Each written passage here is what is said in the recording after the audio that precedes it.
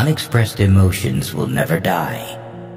They are buried alive and will come forth later in uglier ways. Before you diagnose yourself with depression or low self-esteem, first make sure that you are not, in fact, just surrounded by assholes.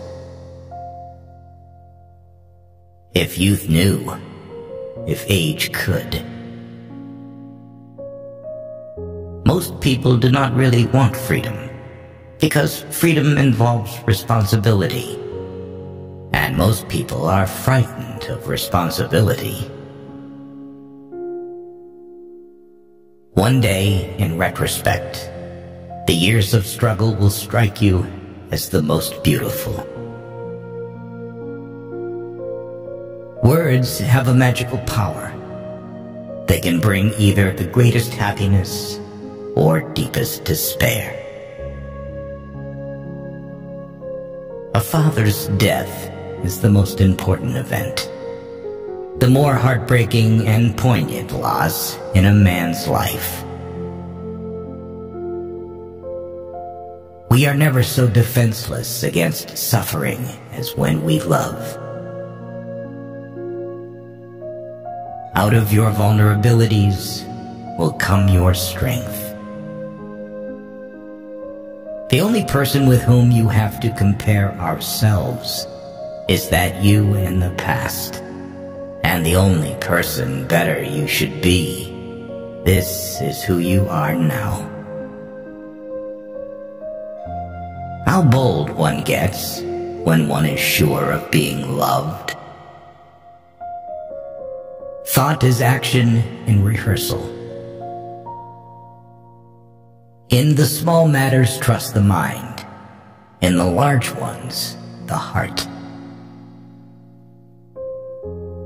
The scope of one's personality is defined by the magnitude of that problem which is capable of driving a person out of his wits. The first indication of stupidity is a complete lack of shame.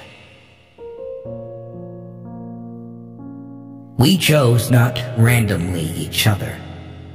We meet only those who already exists in our subconscious. Friendship is an art of keeping distance, while love is an art of intimacy. Who lacks sex speaks about sex. Hungry talks about food. A person who has no money about money.